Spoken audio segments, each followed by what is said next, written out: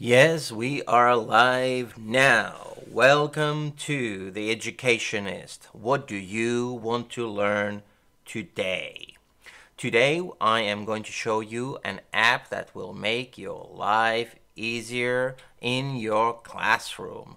Yes, indeed. Welcome to The Educationist Show, where I give you weekly tips on apps and software and pedagogy in your primary classroom. Yes, we are going to look at the classroom screen today. Let's get it enlarged and see what this is all about. Classroomscreen allows you to transform your projector and your screen into an interactive device that you can use to bring content and instructions, tools to use right from one place. It makes your um, morning routines and your end of the um, day routines a lot more streamlined and easier to use.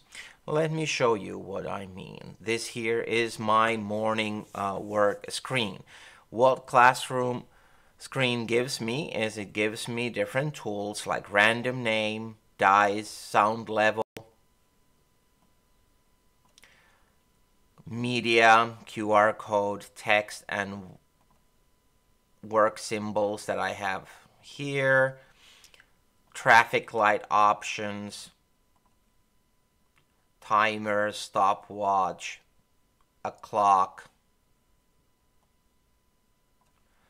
and a calendar. So these are the widgets that I can use uh, to get to work with my classroom projector easier. Now, with the free version, yes, that's right, you do have a free version here, you can have three of these screens. Uh, by going to the home button, it goes to your own screens and you can then change your screen. This is my closing circle time. Here I have my daily meditation video. It shows that during meditations we should be silent. Gives me again the time and the calendar. I can hide my screen or I can also go in full screen so that there's nothing else uh, visible as we are using uh, our our screen. So this is by far uh, one of the easiest apps that there is uh, to start using. Now, um, if you want to go pro, uh, it's uh, in Europe, it's 29.90 per year, and it gives you the same widgets, um, voting group makers, um, settings and preferences, but also saving your screens and poll with remote votings. Uh, gives you collections of screens, custom images, and up to 50 name lists, whereas we only have three name lists in our um, free version.